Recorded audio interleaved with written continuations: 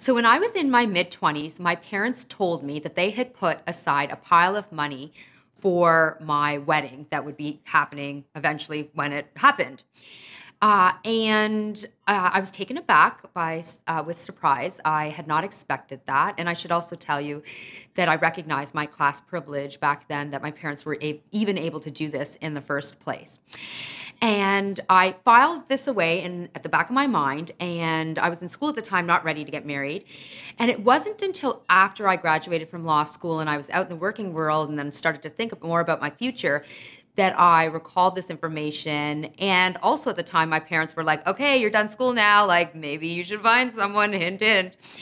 And I remember at the time thinking to myself, but I'm not ready to get married. And there were there were no prospects in sight.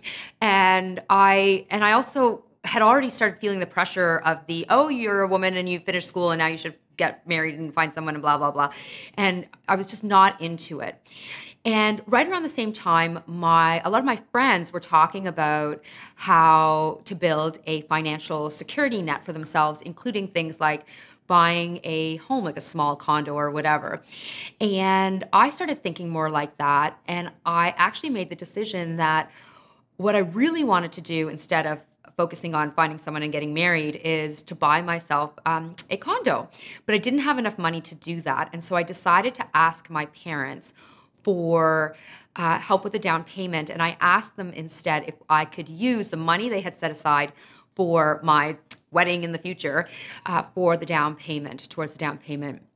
And they resisted at first because they were like, good Indian parents, they want to get their daughter married. But then they agreed. And I'm so grateful and glad that they did. So thanks, mom and dad. Uh, and I have to tell you, that decision is probably one of the smartest things I ever decided for myself. And it's not that I'm against women getting married and, and having lavish weddings and all of that. It's just that I feel like we put so much pressure on ourselves and society puts so much pressure on us to focus on getting married and having a big fancy wedding and the marriage and the blah, blah, blah, as opposed to focusing on something that's extremely important, which is our financial stability. Weddings, marriage in particular, extremely important if you want that. But financial stability, it is critical, it is key. And this is something that I think women must focus on increasingly.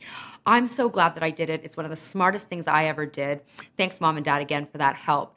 And it's something that I want you to think about as you, as a woman, as anyone trying to lay the foundation of having a successful future ahead. What can you do to strengthen your financial security safety net? I hope this helps. Thanks for watching. As always, if you want more, you can check out ritubhasin.com. Lots of videos and tools there to help. Thanks.